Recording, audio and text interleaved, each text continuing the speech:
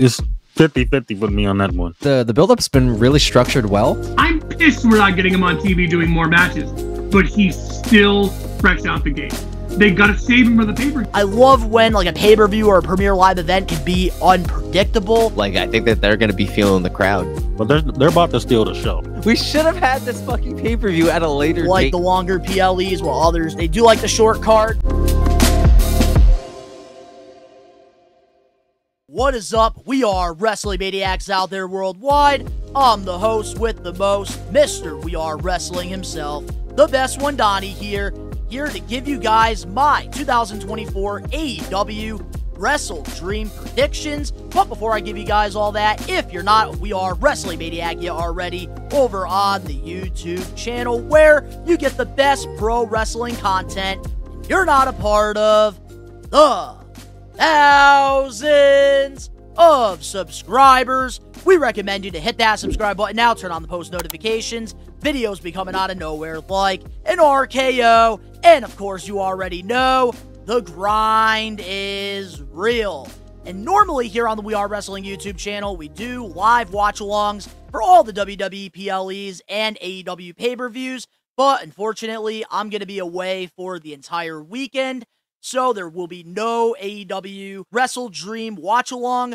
But I will be doing reactions to Wrestle Dream probably either Sunday or Monday. But if you are looking for somebody to watch Wrestle Dream with, Danny Huckins, my old co host on the We Are Wrestling podcast, will be doing a live watch along over on his YouTube channel. We're going to put his link down in the description box below. So let's talk about the build up for AEW Wrestle Dream. And I gotta say, out of all the AEW pay per views in 2024, this is the least excited I have been for an AEW pay per view. I felt like this was very just crammed together, really felt very last minute. And I felt like the episodes of Dynamite, they had great solid matches, but there just really wasn't anything building for this pay per view, which is unfortunate because I think AEW, they have better pay per views than WWE PLEs. But when it comes to the television shows, I prefer watching WWE over AEW when it comes to the storylines and stuff. And I think if AEW can get the storyline straight like they did last year and the years before, I think that I would enjoy watching AEW a lot more than WWE, which is definitely got to be a hot take right now because WWE has all the momentum in the world. And I want AEW to strive. I want AEW to succeed. But with, I think, having AEW all in, your biggest show at Wembley, and then a couple weeks later, having AEW all out, not giving it enough time to build up, and then a couple weeks after that, going to Arthur Ashe for AEW Grand Slam, and then a week after that, celebrating five years of AEW Dynamite. That doesn't help Wrestle Dream whatsoever because when you do have a special on TV, you want to have marquee matches, which we saw for the five year Ricochet versus Will Ospreay, which was very underwhelming. Which I don't know what happened there. Like the finish really pissed me off on that one. I thought the match was going to be a lot better, and it should have been saved for Wrestle Dream or a pay per view. So having these shows like crammed in with big matches is taking away from this, which kind of takes away a little bit of my excitement. But I do think after this, the next pay per view is AEW Full Gear, which we will have a month build up for that. So I think I'm going to be looking more forward to that than this build up. But I will say the main event with Mox and Danielson, that's the only storyline that I've been really invested in. So now, with that being said, let's get into the matches for AEW Wrestle Dream.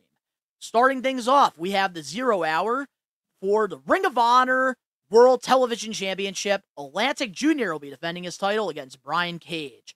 And I do not watch Ring of Honor. I refuse to pay $10 a month for Honor Club because I think Honor Club, if you are going to subscribe to that, you should be getting all the pay per views included with the deal. But I believe you have to pay for those unless they change the policies, which I don't think they did. So I'm not really, I don't really watch Ring of Honor. But I've been saying this for the longest time on the We Are Wrestling podcast, which you can check out every Friday. AEW should be making Ring of Honor their NXT. It should be their developmental program because AEW likes to sign top independent stars who don't have television experience. And there's a difference between television wrestling and independent wrestling. And I think a lot of the guys that AEW signs, they are very, very talented at what they do in the ring, but they're not TV ready. So I think Ring of Honor should be a place where they develop guys that are either not ready for television or they don't have any creative plans. Like, honestly, if I was running Ring of Honor right now, I would be pushing Brian Cage as the Ring of Honor World Champion and see what he could do as the top guy. Because I think that that will only build stock for him and add more credibility to him as a professional wrestler. Atlantis Jr., I can't really say much about him. I'm sure he's very talented. Haven't really watched him, haven't really paid attention to him. I think he's a former CMLL guy, which is probably why I don't really know much about him. I think that it will be a solid match overall, but I am going to have to go with Brian Cage on this one. I think that he is going to win the Ring of Honor World Television Championship. I think he's been doing a little bit more over there, and I think he could definitely benefit from holding a singles title. But moving forward, can we stop getting Ring of Honor title matches on an AEW pay per view? Can we separate ROH and AEW for the love of God? Please. Moving on now to our next zero hour match. We have a tag match MXM versus The Acclaimed. And they have been building the storyline up a little bit over on Rampage and Collision because when I watch AEW Dynamite, I haven't really seen much of them. I think that if they were on AEW Dynamite and they actually did different segments, I think that this storyline, this feud, this match, I can get behind more because I am a fan of both tag teams in their own way. MXM, I really got to give credit to Mace and Mansoor because they were given this shitty gimmick in WWE, and I think they have really done a great job with it, and they're really starting to get it over, especially their little, like, their little pointing thing that they're doing. I really enjoy the whole MXM thing. The acclaimed, I really enjoyed their act at first, but I feel like it's gotten really stale. It's gotten really old. And in this situation, I do feel like it is a lose lose situation here because AEW does need to establish more legitimate tag teams. And I think MXM, they could definitely benefit from a big win. And it would be a big win because the acclaim, they are former AEW World Tag Team Champions. And I think that that could really help MXM get themselves in the tag division and be taken a little bit more serious. But when it comes to the acclaimed, losing to MXM wouldn't look good for them because I want them to get that momentum back. So for me, like I'm kind of like in between here on who I want to win this. I think that it is going to be the acclaimed because I think that they can't lose. So I am going to be going with Max Caster and Anthony Bowens. This should be a really good match. But I do hope that we get more with MXM because I do think that this could work. So now let's get into the regular match card for AEW Wrestle Dream. And this order is just very random, except for the main event. So, with that being said, let's get into it.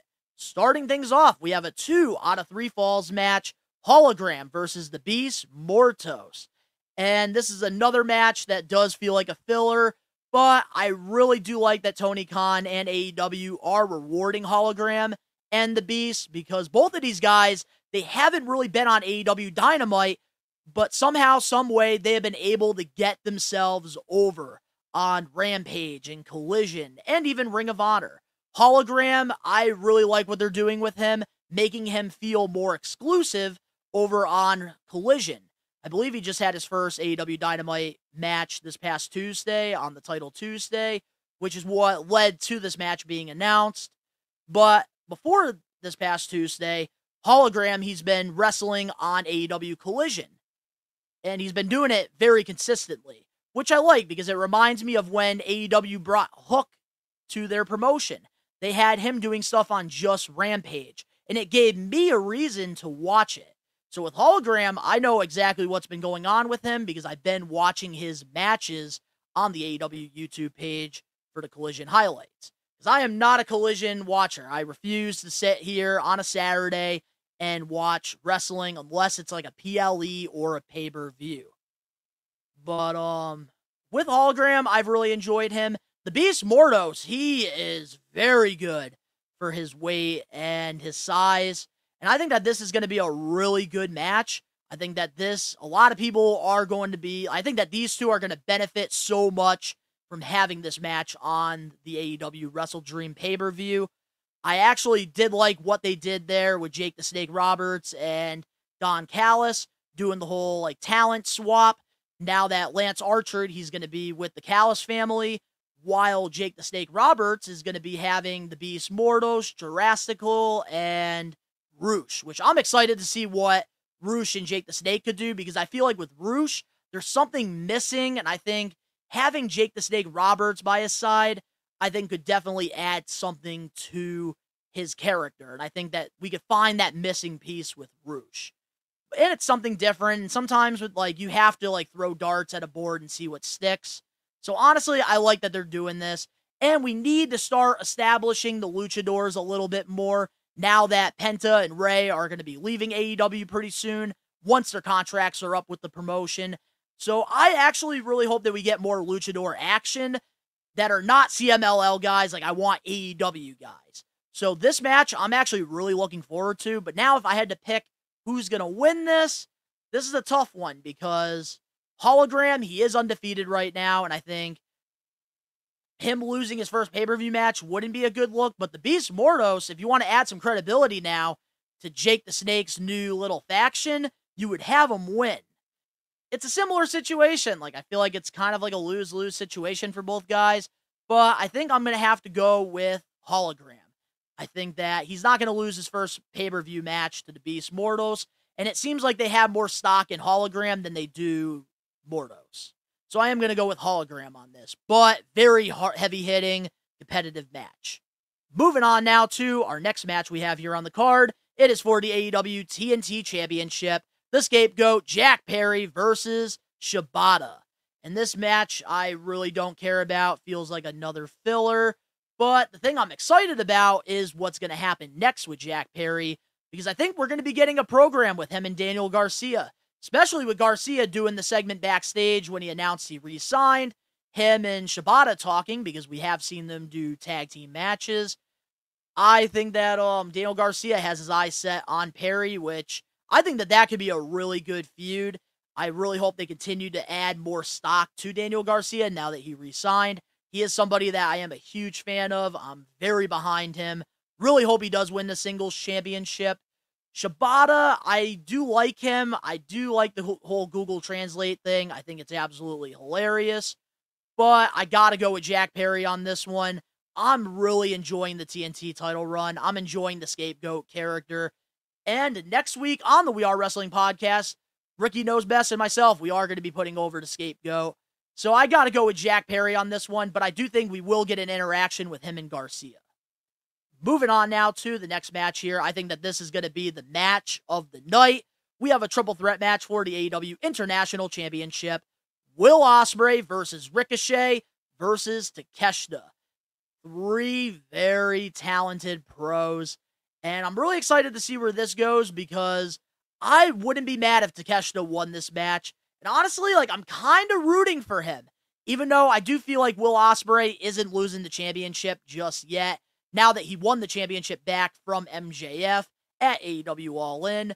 Ricochet, I'm not gonna lie, I thought what was gonna happen was during the match that they had during the five year anniversary, I thought Don Callis was gonna turn on Will Ospreay. Ricochet was gonna have a heel turn, and Don Callis was gonna be Ricochet's mouthpiece, his next big thing. But I was wrong. Instead, they had a horrible finish, restarting the match for.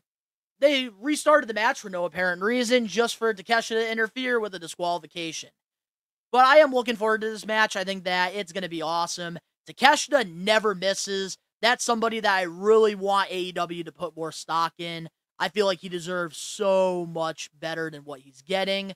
And if I had to pick a winner in this match, I want Takeshita. I want Takeshita to win the international title because I think that he could really benefit from holding the belt. But I think Will Ospreay is going to retain the title. Ricochet just got here. I don't think he's winning the belt just yet. And if they were going to do it, they would have him win at the five year anniversary episode of Dynamite. Moving on now to our next match on the card. It is for the Ring of Honor World Heavyweight Championship.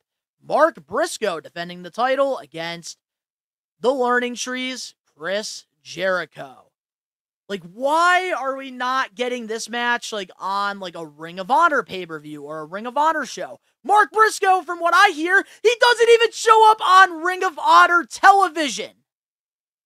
Like, you have your. I feel like every Ring of Honor champion under Tony Khan's Ring of Honor is on AEW a lot more than ROH, which is not helping Ring of Honor out whatsoever.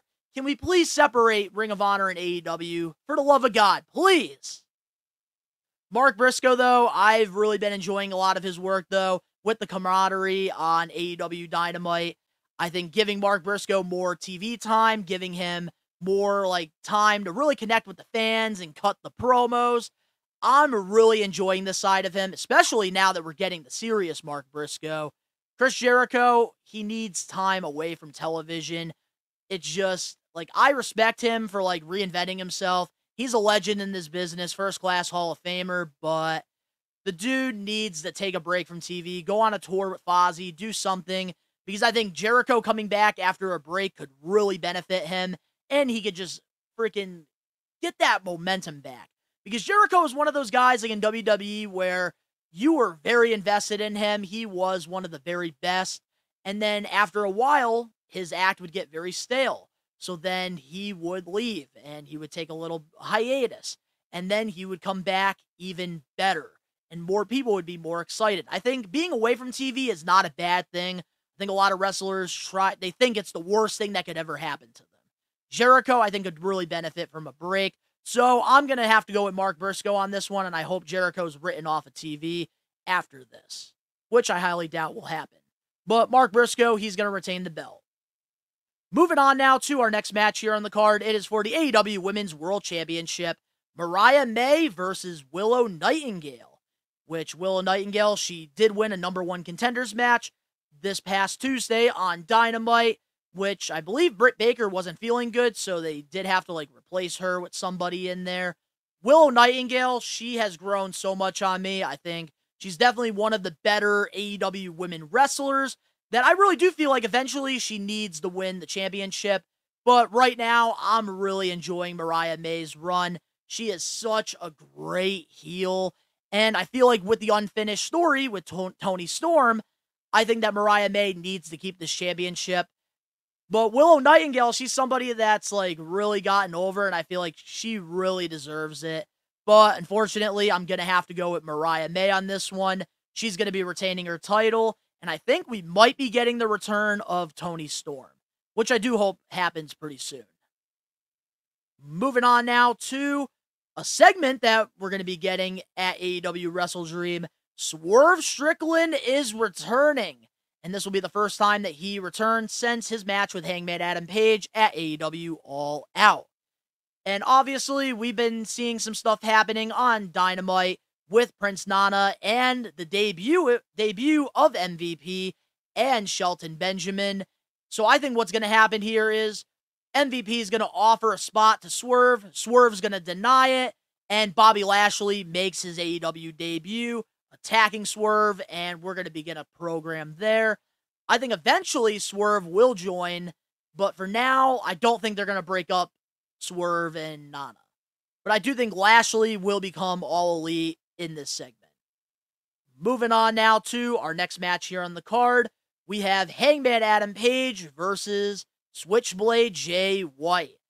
And this one is literally, there's like no build up to it whatsoever. The only thing I could think of is Hangman pretty much attacking the Bullet Club Gold and beating the shit out of Juice Robinson. And then that's where Jay White came back. I like that Bullet Club Gold are going to be baby faces now moving forward. Jay White is somebody that I really want them to give the world championship to in 2025 at some point. I think that he could really benefit from it. But they really need to decide, like, okay, are Jay White, the Ass Boys, and Juice, are they going to be baby faces or heels? Because I feel like every time they get so close to them being baby faces and then they go right back to being heels. So I really don't understand what they're doing. I don't like the whole tweener thing, but I do think that this is going to be a great match. But I do think that it should have been Hangman Adam Page versus Jeff Jarrett on this card.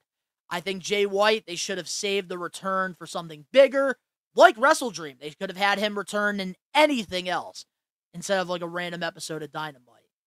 And I think that this is also a lose lose situation. Hangman Adam Page, we are adding so much credibility to his character now that he like killed Swerve inside that steel cage and even Jeff Jarrett put him over. I feel like Swerve can't lose this match, but Jay White just came back, so he can't lose. So this is really just a lose lose situation. But if I had to pick, Jay White is going to beat Hangman, and I think that this is not going to be the end of their feud, which I do hope it does escalate and continue because I do think that Jay White, I don't want him to just get lost in the shuffle. I don't want Hangman to get lost in the shuffle. I want them to have a program because I think that they could actually do something good. So I am going to go with Jay White on this one. Moving on now to our next match here on the card. It is for the AEW World Tag Team Championships. The Young Bucks versus Private Party. It's about time. Private Party is getting an opportunity. I feel like that they should have been getting this opportunity a long time ago. But I do feel like the Young Bucks, their title run is not over yet. But I do hope that Private Party does pull the upset. Don't see it happening, so I am going to be going with the Young Bucks here. But I do hope that this is a great competitive match because let me tell you, when they were crowning the first ever AEW World Tag Team Champions, having Private Party pull the upset on the Elite was such a great booking decision. And I felt like Private Party, they should have been pushed so much more after that, which they obviously didn't do. But I do hope that like they really do shine here and they do get more TV time after this. But I am going to go with the Young Bucks, just another filler match. Moving on now to the next match on the card. I'm excited about this one. We have Darby Allin versus Brody King. They got history. And I kind of wish like it was Darby Allin versus Claudio because obviously with what happened at Grand Slam with Mox versus Allin, I think Darby should still be trying to take out the new BCC. So I think him versus Claudio would have been such a great heavy hitting match. But Brody King getting this opportunity, I am happy for him because of the history. I thought the segment this past Tuesday was really fucking good. And I hope that the House of Black, they can start pushing them moving forward because they shouldn't be on Rampage. They shouldn't be on Collision. They shouldn't be doing dark stuff. They should be on AEW Dynamite and marquee storylines. And I kind of like the way that they're doing this because Brody King, obviously, he has a lot of hatred for Darby Allin. Darby has a lot of hatred for Brody but they kind of brought up like the way that they were together in the independent circuit. And I think that this match, Darby Allin is going to beat Brody. And this time around, Brody is actually going to fist pump him or shake his hand or give him a hug or something. Because Darby Allin is like on this quest to like be the face of AEW, which I really like what they're doing here with him. And I think that he's really going to have a. I think he's going to win the world championship probably in 2025. And I hope that it is a big moment because that's somebody that I think AEW should be building their company around. And I think eventually a Darby Allin versus MJF feud for the AEW World title, money. But now, with that being said, let's get into the main event match, and it is for the AEW World Heavyweight Championship. The American Dragon, Bryan Danielson versus Jon Moxley. And I think that this was the right call. I know Darby, he won a number one contenders match but there's more history here between Danielson and Mox. And what they did at All Out, I loved. I loved the segment, loved the angle, love that Wheeler Yuta is like in the middle of this because he is the trio champs with Pac and Claudio. But I am very interested to see what they're going to do here because with Bryan Danielson, the thing I like about his world title run is it's so unpredictable that it could go either way. Either Danielson does lose to Jon Moxley and Moxley and his group, his crew are going to take over AEW, or Danielson's going to continue to fight another day. And I've been really behind this, and I'm really enjoying like what Mox is doing now with Marina Shafir, Pac, Claudio. I really do like this new BCC. I don't think Shane McMahon will debut. Not yet. I don't think it's happening. But if I had to pick Danielson or Jon Moxley, see, this is another lose lose situation because I don't want Danielson to retire, but Jon Moxley, he just started this and he's picking up a lot of momentum. I think it is going to be Danielson. Danielson is going, actually, this show is in Seattle, Washington. Yeah, Danielson's going to lose to Jon Moxley. Yep. That's what's going to happen. I think Mox is going to become a three time AEW world champion because I think what they're going to do is they are going to have Mox go on this long title run. And at the right time, Darby Allin is going to be the one to win the championship against Jon Moxley. So I do think that Mox is going to win. And I don't think Shane McMahon is going to show up. If it does happen, it will shock me. It will really shock me. But I'm going to say I am 60% sure he's not going to show up. I'm 40% sure maybe he will. But we're going to have to wait and see. I think that this is going to be a great card. I will be doing reactions to this. I won't be doing a live watch along. But if you are looking for somebody to watch the show with in real time, my old co host on the We Are Wrestling podcast, Danny Huckins, he will be doing a live stream for Wrestle Dream. So if you are looking for somebody, you can click the link down in the description below and join his watch along. But let me know in the comment section below your predictions for AEW Wrestle Dream. I think overall this is going to be a great heavy hitting pay per view. Tony Khan really doesn't miss with these. I just wish that we had more time to build up some of the feuds and some of the rivalries. And like I said earlier, I think having All In and then a couple weeks later having All Out, and then a couple weeks later having Grand Slam, and then a week later having the five year anniversary really didn't help here. But I think overall, like, this is going to be a great pay per view. If you guys enjoyed the predictions, make sure to smash that like button now. If you're not a We Are Wrestling Maniac already, subscribe, turn on the post notifications. We have a new episode of the We Are Wrestling podcast coming out tomorrow. And Ben and I, oh man, we're going to be talking about the possibility of The Rock versus Cody versus Roman triple threat match at WrestleMania 41. But if you guys want to hear my thoughts on that, you got to tune in to the We Are Wrestling podcast tomorrow. The link's down in the description below. You can go follow me over on my social medias and other YouTube pages. All the links down in the description below. And of course, all the We Are Wrestling Maniacs out there worldwide, we are taking over. Peace.